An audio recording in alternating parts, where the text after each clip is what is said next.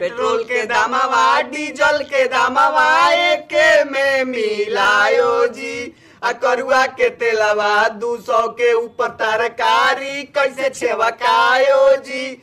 Cylinder के भौआ के अलगे बतौआ, हजारा पार करायो जी। आ कतनो कमाई ठेंगा बचाई कैसा जुगवा लायो जी।